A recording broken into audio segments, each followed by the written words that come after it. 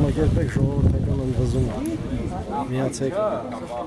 համաժողովրդական համահայկական ընդվզմանը։ Չնայած կարծում եմ վստահ եմ, որ միացել են եւ իրենց իրենց բաժին պատասխանատվությունը վերցրել են։ Ցանկացած մեր ժողովրդի մասնիկ պարտավոր է մասնակցել ի վերջո ազգային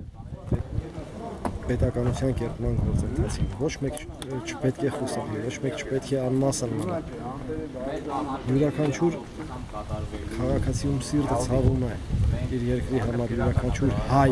կլինի դա անգամ Սփյուռքում, ում սիրտը ցավում է իր հայրենիքի համար, ով ցանկանում է կերտել ուժեղ պետականություն եւ ուժեղ հայրենիք, պարտավոր է ունենալ իր բաժինը այդ գործում, պարտավոր է իր ներդրումն ունենալ Ինչպես է գնահատում Խորնացի փողոցում կատարվող իրադարձությունները։ Այս Երևանից նոր երանգ է հաղորդվել։ Եթե տեղյակ եք։ Քիչ շատ չնչին տեղեկություններ ունենք։ Մենք մեզ փորձում են զրկել ինֆորմացիայի բոլոր աղբյուրներից չնչին պատառիկներ են մեզ հասնում, բայց կարծում եմ process-ը գնում է բավականին լավ ընթացքով։ Բանակցությունները հիմա Վիտալի Բալասանյանն է միայն վարում։ Բանակցություններ խոշոր հաշվով չեն վարվում, այսպես ասած, հետև մեր մենք ունենք պահանջներ եւ այդ պահանջներից մենք չենք պատրաստվում որևէ մեկից հետ կանել։ Մեր պահանջները հստակ նշված են, դրանք են քրորդի վստահության կառավարություն Խաղվանտարկյալների են ազատություն շնորհել Ժիրեր Սեֆիլյանը գա այստեղ, նայե միայն իրավասու բանակցելու եւ Սերժ Սարգսյանի հրաժարական որպես բռնապետի, որպես ռեժիմի գլխավոր ֆիգուրի, այսպես ասած։ Դրանից հետո մենք կհանձնենք մեր զենքերը, եթե հարկ կլինի մեզ դատել, թող դատեն, թող դատի իրոք արդար եւ ժողովրդավարական երկրի դատարանը։ Ժիրեր Սեֆիլյանի Ժիրեր Սեֆիլյանի հետ կապի մեջ եղել եք, անձամբ խոսել եք։ Ես անձամբ չեմ խոսել Ժիրեր Սեֆիլյանի հետ, մի անգամ կապի մեջ եղել ենք, այո, մեր ընկերներից նորմալ։ Նրա գնահատականը համընկնում է հետ ինչ որ մենք ենթադրում ենք։ Վիտալի Բալասանյանը տարել է որ Հայաստանում քաղբանտարկյալներ չկան։ Հայտարարությանը ծանոթ չեմ, եթե նման հայտարարությունը արել ինքը պարզապես պարտավոր է բացատրել այդ դեպքում ինչու է Գևորգ Սաֆարյանը տոնածառ դնելու համար 6 ամսից անել, 7 ամսից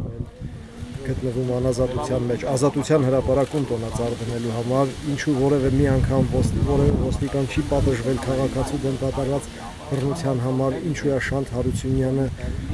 դատապարտվել այդքան երկար ժամանակով, ինչու է Հայկ Գյուրեղյանը դատապարտվել այդքան երկար ժամանակով, Շանթ Հարությունյանը եւ իր ընկերները իդեպ եւ վերջապես ինչ ապացույցներ են ունեցել Ժիրայր Սեֆիլյանի դեմ, որովհետև ինչպես տեսնում եք, Ժիրայր Սեֆիլյանը գտնվել է անազատության մեջ, որևէ կապ չէր կարող ունենալ այս ամենի հետ։ Եվ այս ամենը իրականացրել ենք մենք, նրա ընկերները։ Եվ իրականացրել ենք ոչ թե նրա համար, որ Ժիրայր Սեֆիլյանը սա նախապատրաստել էր, այլ որ մենք ասել ենք, որ հայ ժողովուրդը ունի զինված ապստամբության իրավունք եւ ցանկացած ժողովուրդ ունի զինված ապստամբության իրավունք, եթե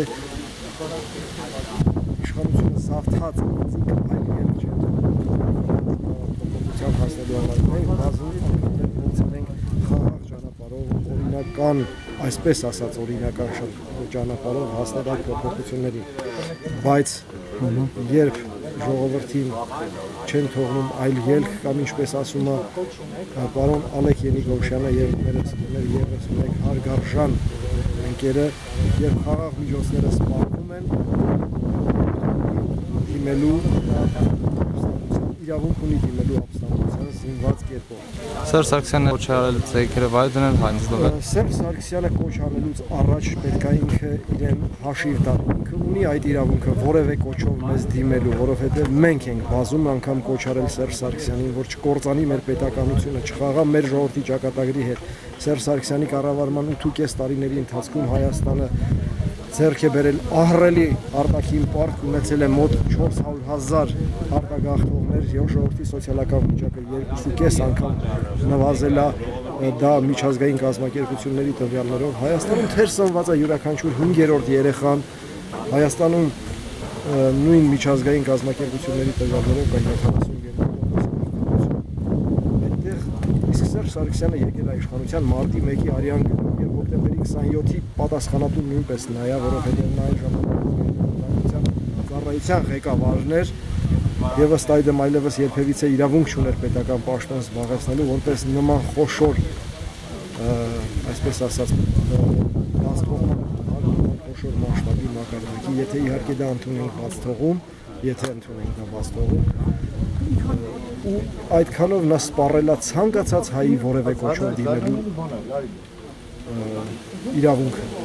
Սերժ Սարգսյան, եթե դիտենք հարևան Թուրքիայում, այնտեղ երկրի նախագահը կոչով դիմեց իր ժողովրդին եւ իր ժողովուրդը դուրս եկավ պաշտպանելու երկրի նախագահին։ Եթե Սերժ Սարգսյանը այս երկրի նախագահն է, թող կոչով դիմի ժողովրդին։ Տեսնենք ժողովուրդը մասսայաբար դուրս կգա։ Ես վստահ եմ, դուրս կգան միմիայն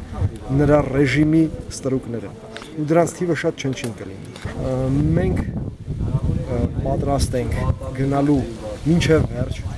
մենք գիտակցաբար ենք գնացել այս ամեն մենք պատրաստ ենք եղել անznազողության եւ պատրաստ ենք այսինքն մենք կգնանք այնքան մինչև հասնենք մեր նպատակին եթե կարիքը լինի կզոհվենք այդտեղ դա արդեն կարծում եմ նորություն չի իսկ սննդի հարցը պատասխանեմ ձեզ խոշոր հաշվով դա մեծ խնդիր չի որովհետև մենք պատրաստ ենք եղել սոված մնալ պատրաստ ենք եղել ծարավ մնալ սննդի հարցը տարբեր կերպ լուծվում է Շնորհակալություն։